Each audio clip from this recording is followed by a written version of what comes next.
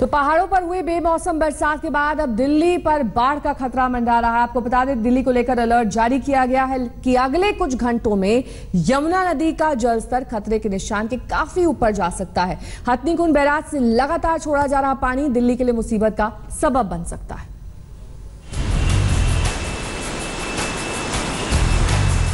राजधानी दिल्ली में बाढ़ के खतरे का अलर्ट। खतरे के निशान से ऊपर पहुँची यमुना नदी। पहाड़ों में हो रही लगातार बेमौसम बारिश के चलते मैदानी इलाकों की मुसीबतें बढ़ती जा रही हैं और इस वक्त राजधानी दिल्ली में भी बाढ़ का खतरा मंडराने लगा है। बारिश के चलते हरियाणा के यमुना नगर में हथनी कुंड बैराज का जलस्तर बढ़ गया है। सोमवार शाम साढ़े सात बजे हथनी कुंड का जलस्तर बढ़कर दो लाख क्यूसेक पर पहुँच गया। साथ ही दिल्ली में भी अलर्ट जारी कर दिया गया है। कि अगले कुछ ही घंटों में दिल्ली तक पानी पहुँच सकता है। दिल्ली में यमुना खतरे के निशान के पास पहुँची। खतनी कुंड बैराज से पानी छोड़ने के बाद खतरा है। पुराने रेलवे पुल पर यमुना का स्तर 204.84 मीटर है, जबकि पुराने पुल पर खतरे का निशान है 204.83 मीटर। कई जगह यमुना नदी खतरे के निशान से 17 सेंटीमीटर ऊपर पहुँच गई है। से 8 बजे दो लाख सोलह हज़ार क्यूसिक वहाँ से पास किया है, वहाँ से पानी निकला है।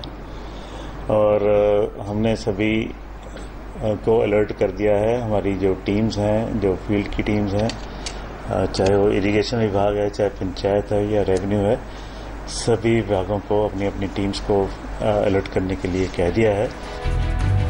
इसे लेकर दिल्ली के अधिकारी भी अलर्ट पर हैं। दिल्ली के साथ साथ हरियाणा के अधिकारी भी लगातार हर घंटे पानी के बढ़ते लेवल की समीक्षा कर रहे हैं खतनी कुंड बैराज पर अधिकारी लगातार नज़र बनाए हुए हैं वहीं हरियाणा में भी प्रशासन की ओर से अलर्ट जारी कर दिया गया है नहरों की आपूर्ति भी बंद कर दी गई है यमुना के आसपास के गाँव में भी लोगों से अपील की जा रही है कि वो पानी के पास न जाएँ।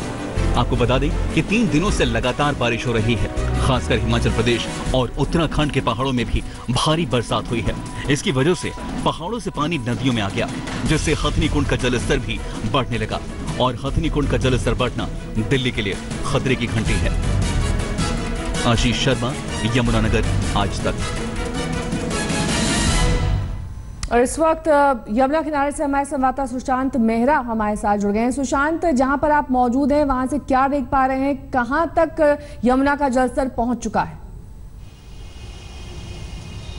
देखिए नेहा, आपको बताना चाहूँगा कि जिस तरीके से हथनीकुंड बैराज से पानी एकाएक छोड़ा जा रहा है, उसके बाद से यमुना का जो जलस्तर है, वो लगातार बढ़ता जा रहा है। पुराना यमुना के जो लोहे का पुल है, उसमें अब मैं मौजूद हूँ। अपने कैमरा पर्सन से दिखाना चाहूँगा कि यमुना जो है, वो अपने खतरे के निशान से तकरीबन तकरीबन 25 सेंटीमीटर ऊपर बह रही है, क्योंकि आप देख सकते हैं कि इस वक्त यमुना का जो जल स्तर है, वो दो आठ सेंटीमीटर के आसपास यहाँ पर पहुँच गया है। इसके साथ साथ अगर बात की जाए तो यमुना का जो खतरे का लेवल है लोहे के पुल पर। उसको अगर बात की जाए तो दो सौ चार आठ तीन सेंटीमीटर है और यमुना का स्तर लगातार बढ़ता जा रहा है क्योंकि हथनी कुंड बैराज से आज सुबह भी तकरीबन एक लाख चौंतीस हज़ार क्यूसेक पानी जो है वो छोड़ा गया है, जो देर शाम तक जो है वो पहुँचने की उम्मीद है। और ऐसे में यमुना का जलस्तर लोहे के पुल और आसपास के जो तमाम निचले इलाके हैं, उनके ऊपर खतरा जो है वो मंडराने लगा है। प्रशासन की तरफ़ से अलर्ट जारी किया गया है ताकि आसपास के जो निचले इलाके हैं, वहाँ से लोग जो है वो ऊपर के इलाकों के अंदर आएँ ताकि सेफ़ हो सके। ये अलर्ट जो है वो प्रधान प्रशासन की तरफ़ से किया गया है। अलावा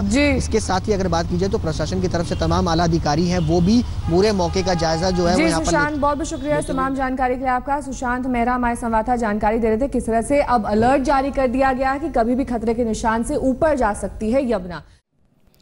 लेटेस्ट खबरों के लिए यू ही देखते रहिए आज तक। और इस वीडियो के पसंद आने पर लाइक शेयर एंड सब्सक्राइब करना ना भूलें।